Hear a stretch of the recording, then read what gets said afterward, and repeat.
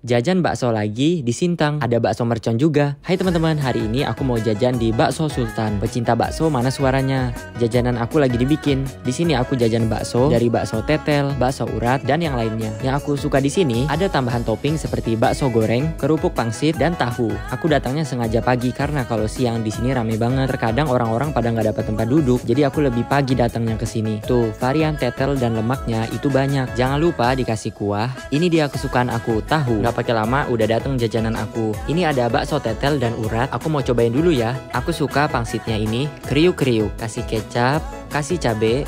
Ini aku juga suka mie-nya. Kuahnya itu enak banget.